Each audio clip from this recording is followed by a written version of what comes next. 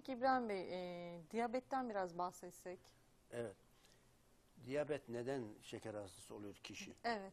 Genelde hani şeydir, genetiktir. E, genetik olmanın dışında nasıl şeker hastası oluyor insanlar?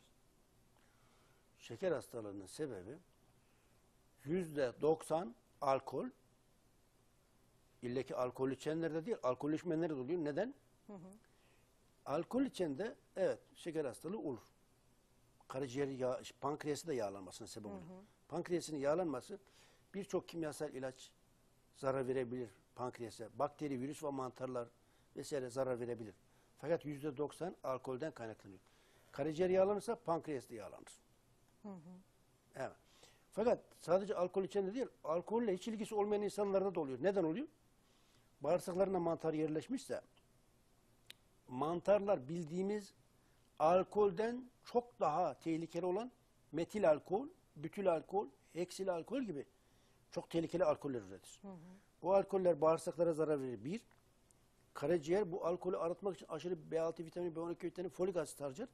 Zamanla karaciğer yorulur, yağlanır, arıtamaz. Arıtma tesisi gibi karaciğer. Arıtamadığı toksik madde nereye gidiyor? Diğer organlara. Pankreası zarar verir. Pankreas yağlanırsa ne olur?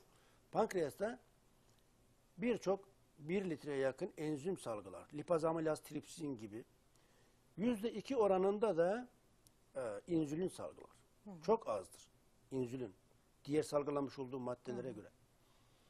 İnsülin salgılayan hücreler pankreasın içerisinde çok farklıdır diğer hücrelerden. Bu hücrelere beta hücreleridir, yumuşaktır, jelibon gibi. Pankreas biraz yağlanırsa, sertleşirse diğer hücreler bunu sıkıştırır. Bu da küser. Artık insülin salgılamıyorum. Hadi bakayım der. insülin salgılaması şeker hastalığı ortaya çıkar. Evet. Pankreastaki yağlanmayı önlerseniz pankreas tekrar insülin salgılar hale gelir. Bu yani da şeker hastasıysa birisi eğer insülin kullanıyorsa hani ileri devredeyse hastalığı bunu geriletmek veya bunun iyileşmesi söz konusu olabiliyor mu?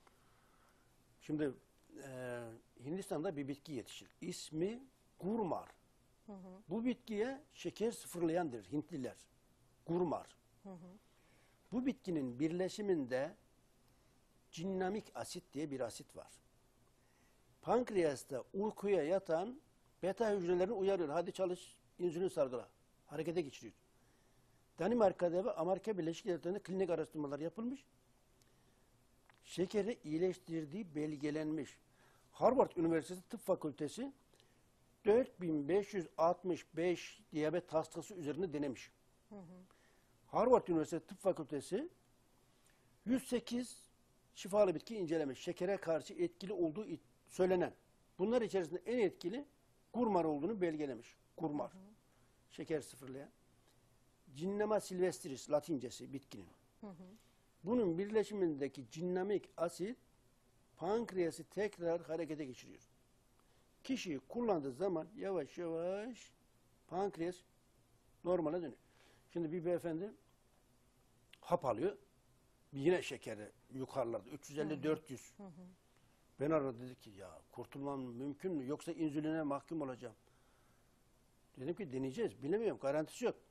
Bazen yüzde yüz iyileştiririz. Yüzde şöyle öyle yok. Bilemeyiz. Allah bilir. Onun belki başka bir sebebi vardır. Tabii. Deneyelim bakalım. Ne olacak? 6 hafta kullandı. Değerleri normale dönmüş. Gelmeden önce de dur bir dondurma yiyeyim demiş. gitmiş yarım kilo dondurma yemiş. Tekrar gitmiş kan değerlerini ölçtürmüş şekerini. Aa hiçbir yükselme yok. Gel dedi ki ne yaptın biliyor musun ne yaptın?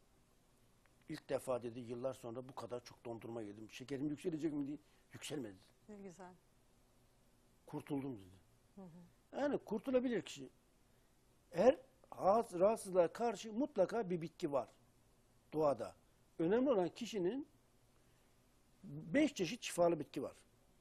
Klinik araştırmalarda etkisi ispat edilen bitkiler, komisyon E tarafından hakkında monografi yayınlanan bitkiler, homopatide kullanılan bitkiler, aromaterapide kullanılan bitkiler, halk arasında kullanılan bitkiler. Biz sadece klinik araştırmada etkisi ispat edilen bitkilerle ilgili çalışıyoruz.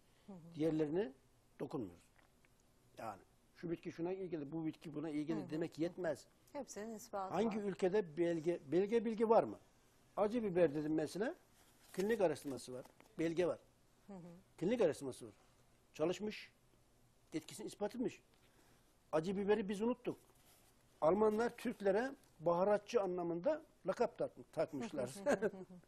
Almanlar kızdığı zaman Türklere baharatçı derler. Yani eskiden çok baharat kullanan millettik biz. Bugün lokantalara gidin yavaş yavaş karabiber, kırmızı biber, sarımsak, soğan yok gidiyor. Yani ne o kokuyordu, bu şuydu. Sağlığı millet insanlar ne yapıyor yavaş yavaş? E, Kendi kültürünü, kendi değerlerini kaybediyor. Yani abur cubur yiyor. Fast food tarzı. Ki Türk mutfağında hakimdir fast yani food. baharat değil mi? Cips şeydir nedir o fast food? Efendim hamburger, cheeseburger vesaire vesaire yiyor ne oluyor? Vitamin yok, mineral yok, enzim yok, hiçbir şey yok. İçi boş yedikleri şey. Vitamin, mineral, enzim olmadığı zaman Ve kilo. fast food tarzı beslendiği zaman hormon anormallikleri başlıyor. Bünyenin yapısı, dokusu bozuluyor, kilo alıyor, hastalıklı bir bünye haline geliyor. Bugün 10 yaşında, 11-12 yaşında çocuklar bile 100 kiloyu bulanlar var. Değil mi? Hep bu yanlış. Obeziteye doğru Evet, evet. gidiyoruz yani. Yanlış beslenme. Kendi kültürümüzden kopma. Evet.